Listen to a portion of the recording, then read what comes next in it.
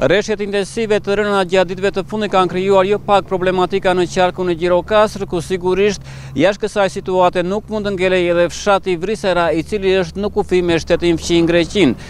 Dalja nga shtrati e lumit Kserias ka krijuar jo pak probleme për banorët e zonës, të cilët për vite me radhë kanë kërkuar ndërhyrje në argjinaturën anësore të këtij lumi.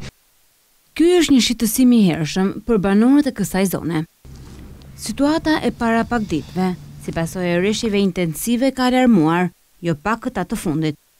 Gjithmonë kur bien shira kështu të rënda, si i themi neve, lumi këtu bie shumë ujë dhe Këtu neve si fshat pësojmë si tip përmbytje, do me thënë. Pothuajse unë në shpinë time për, për shembull, gjithë kopshti ishte mbushur plot me ujë dhe u detyrova hapa kanale që të zbarkoj ujin.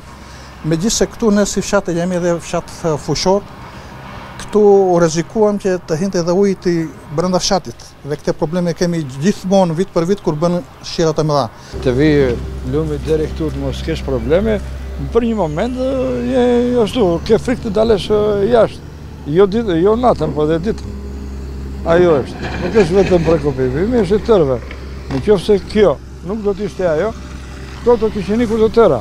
Kupton? Do të kenë ikur të tëra.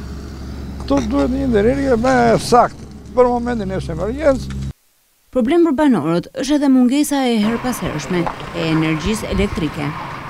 Neve me këto drita kemi shpesh probleme. Ka raste edhe me erë të forta, ose me shi, ose me kemi prerje që na krijon probleme sidomos në frigoriferin me ushqime se sado sado tani fshatari tani dimrit frigoriferin e kanë plot.